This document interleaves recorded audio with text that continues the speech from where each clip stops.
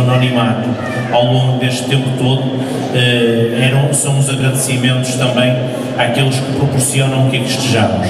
O senhor representante da cooperativa Santa Marta, que é, digamos, o main sponsor deste evento, e aqueles que, os proprietários deste espaço, que com esta espécie de arqueologia industrial nos fazem uh, reviver um tempo que foi particularmente importante nestas terras, que não apenas nas terras de Vila Nova de Gaia, mas nas terras de Gondomar,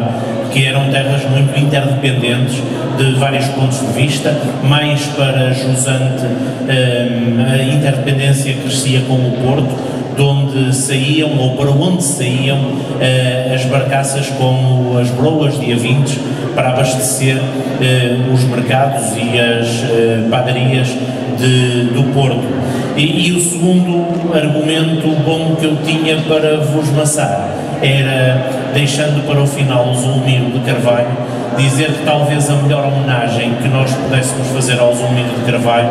como um homem que ao mesmo tempo, numa combinação difícil de encontrar, um homem simples e de grandíssima qualidade, era dizer-lhe que nós merecíamos em Vila Nova de Gaia ter uma obra uh, sua uh, num espaço público digno. E vamos ter uma obra sua no Centro Cívico de Vila Nova de Gaia, num sítio onde a minha janela do meu gabinete vai permitir estar sempre a olhar e, e portanto, a vigiar também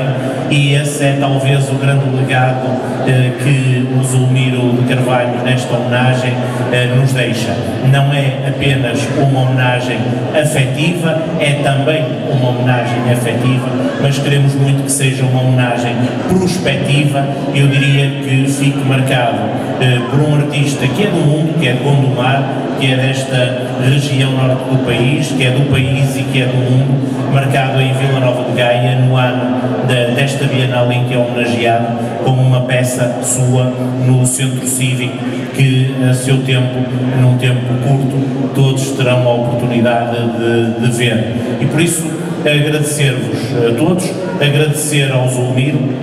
de Carvalho a inspiração que nos dá de que é possível ao mesmo tempo ser grande como ele é e ser uma pessoa humilde entre nós que nós temos hoje o gosto de aqui ter e que vamos a partir de determinada altura passar a poder ver pela sua obra já no Conselho que hoje o homenageia. Que seja uma grande visita, que seja uma grande Bienal, que nos possamos depois deslocar um pouco por esses pontos do país e não só, eh, e na Galiza também, e que possamos encontrar aqui boas razões para alimentar uma área que às vezes é muito maltratada, porque ou é tida como efêmera ou é tida como pouco útil. E nós gostávamos muito que a cultura fosse tida como um elemento estruturante da educação de um povo, da marca de uma cidade, e por isso, quando pensamos em Gaia e em Gaia todo o mundo, pensamos também no mundo da cultura como constitutivo desta cidade humanista para a qual a cultura contribui de forma absolutamente decisiva. Boa Bienal para todos e obrigado.